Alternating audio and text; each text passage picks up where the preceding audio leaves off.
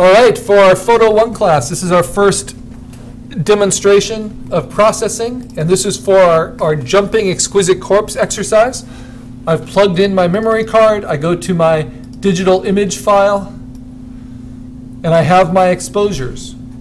Now I do not want to copy all of these from my memory card onto the computer, so what I do is I select the ones that I'm interested in looking at by holding down Command and selecting multiple photos.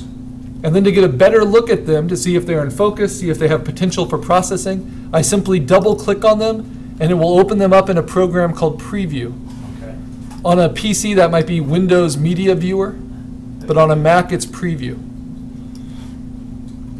Now, we can do some simple things in Preview. For instance, if your camera doesn't automatically rotate your images with the movement of your camera, which is called a Mercury switch, then you can hold down Command left or Command L to rotate them to the left, or you can hit Command R to rotate them to the right.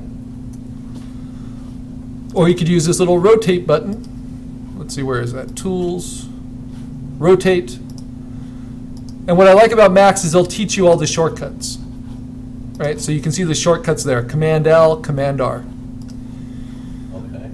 If you go to Tools, we can also adjust color in Preview, but we're going to do that instead in Photoshop today. But this is what we were playing with previously.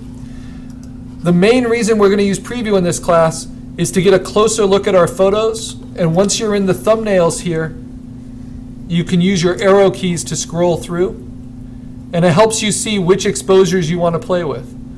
It helps you see which ones are in focus, It helps you see the lighting conditions.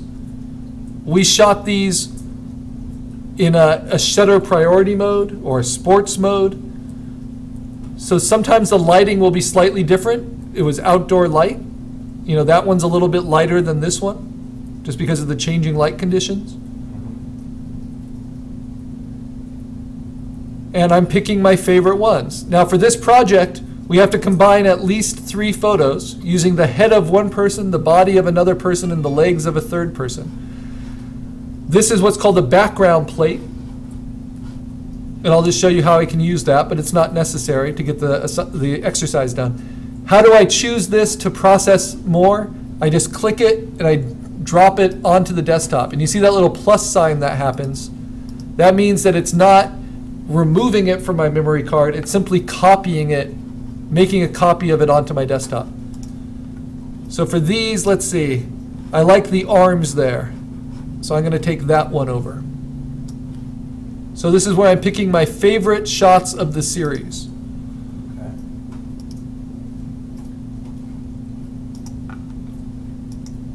And I like the head here. So I'm going to take that one.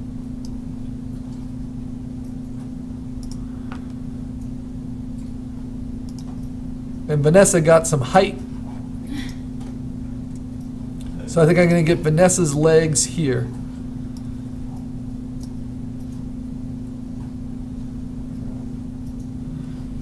And that's all I need. Three different people. If you want to composite more than that, you're welcome to.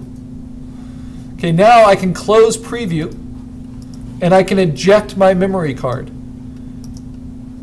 And the most common mistake is not labeling your memory card with your name and forgetting to take it with you. So as soon as I eject it by right clicking it and saying eject, or by taking it down to the trash, which turns into an ejection icon, or by um, using the function key and F12 will often eject.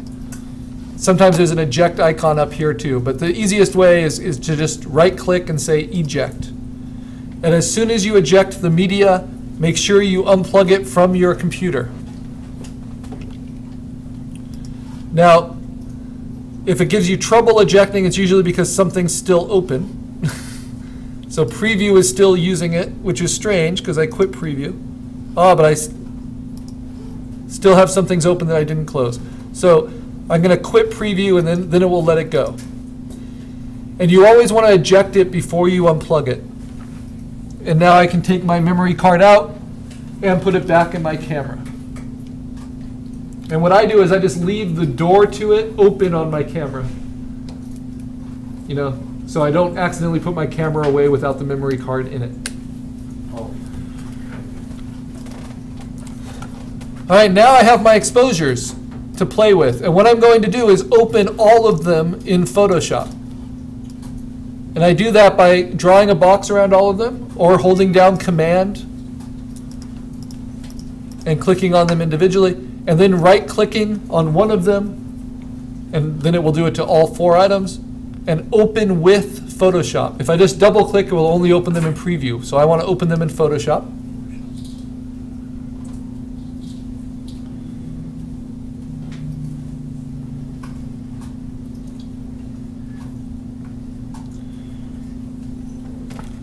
And this is the first time we're using Photoshop and opening things into Photoshop.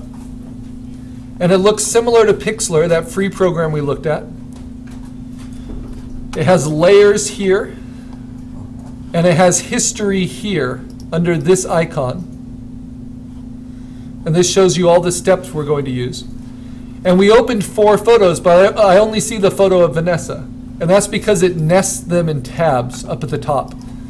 But because I want to be able to move them back and forth and composite them together into one image, I want to pull them each out into individual windows. And instead of having to do that individually, I can go up to Window, Arrange, Float All in Windows.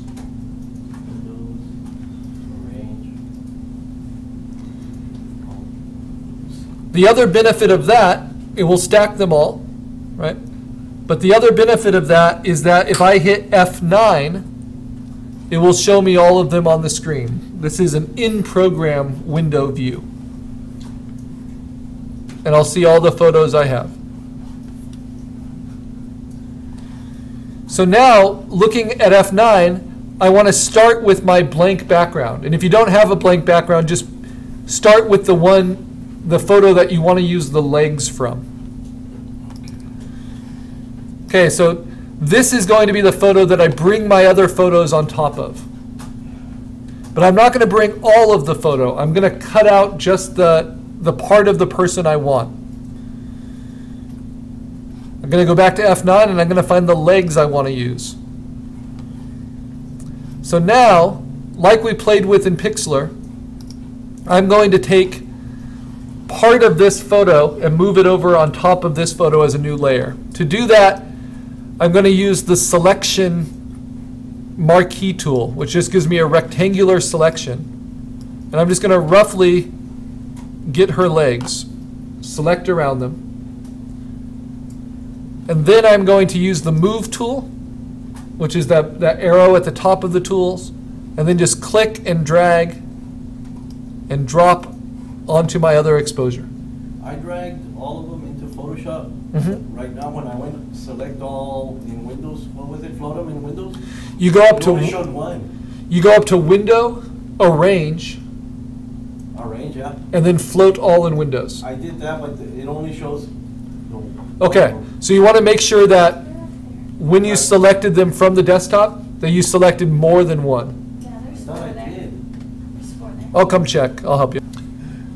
So that moved the legs over. You see that the bricks don't match exactly. I shot this at more of of a flat angle because I had to muscle in like paparazzi next to all of you shooting. But that makes it so I'm done with this photo. I don't need it anymore. So I can close it. I don't even need to save it. Then I'm going to do the same thing with the torso I want to use. So the, the arms and chest. You tool, right? You first select it with the, the second tool down, the rectangular marquee, and then you use the move tool, and it gives you this little sticker icon. It's like cutting it out and dropping it over here. And it will make a copy of it over here. And you see it's making new layers on top of my original photo. Okay, then I can close that, and now I'm going to steal the head.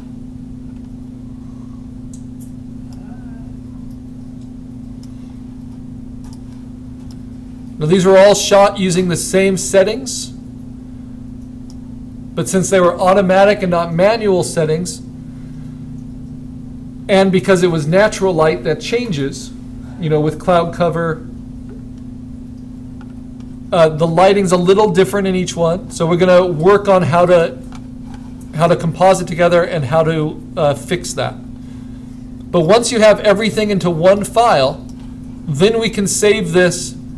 Hey, how do you move With a different name. We have the rectangular marquee tool. That's how we got our selections. Okay. And we're going to learn Oh, another type of selection too, and then the, the move tool. Those are the only two we use so far. But right now, because I have one file which has all the components I want to use for this photo composite, it's like a quadruple exposure, right? Now I'm going to save it as a file type. So I go to File, Save As, that supports all these different layers. And that is automatically going to want to be a what's called a PSD file, which stands for Photoshop document. So the format is a Photoshop document. And I want to rename it with my name and some sort of description. So I'll call it jump, Jumping Corpse Exercise. And maybe SP15 for spring 2015. So we always save as a PSD file. It's called a working format. That's so we can go back in and work on it. And we always save to the desktop. So if it's going somewhere else in its destination where, you can always hit Command D and it will navigate it back to the desktop. Then I say save and I can hit F11 to find it on my desktop. So that's the file. And because this is my working file, I'm also going to color it green. And that's where I go if I want to continue working on this. So let's continue working on it. Now that I've got the photos in there, I want to arrange them a little bit differently. So I can zoom in with Command plus. That will make the image larger on the screen for me. I can zoom out with Command minus. Okay? And if I wanted just a shortcut to fit it all on the screen, Command zero. And they're all up in the same location. And that will make it large within the Photoshop window. Next, I can take each individual layer and turn them on and off with the little eyeball in the layer window. And I can also move certain layers on top of other layers. So if I wanted the head to move behind these shoulders, I can select the head layer and move it behind the shoulders.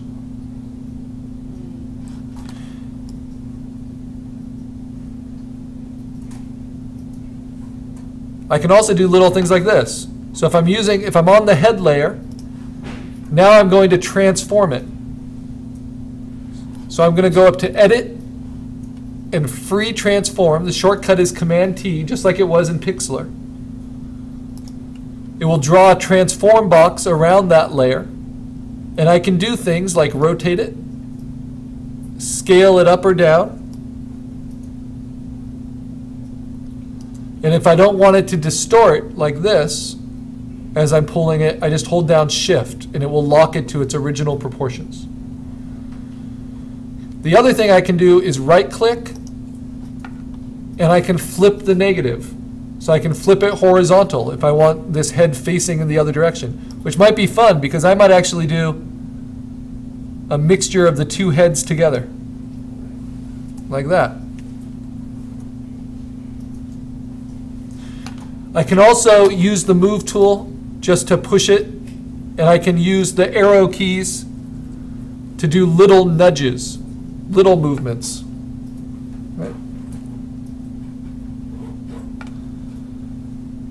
Now let's do the same thing with the legs. So I'm going to leave the arms where they are, but I'm going to select the layer with the legs. And if you lose track of your layers, you can always label them, title them. So this is the legs, this is the head, this is the torso, and then this is the background, right? So I'm going to take my legs layer, I'm going to hit Command T, I'm going to hold down Shift, make them a little larger so that it lines up with the existing pants. Command minus to zoom out. So all of that's looking pretty good, except that the, the wall is obviously very different. So now I need to do a better selection. And one of my first Photoshop teachers said the art of Photoshop is the art of making good selections.